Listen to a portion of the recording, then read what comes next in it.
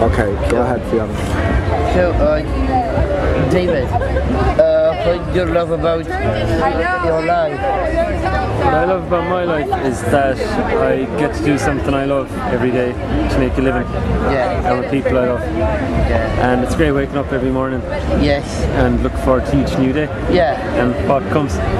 yeah Simple, but- really. Yes. uh, thanks for your time. Cool, thanks. Brilliant. Cool, thanks, Thanks, David.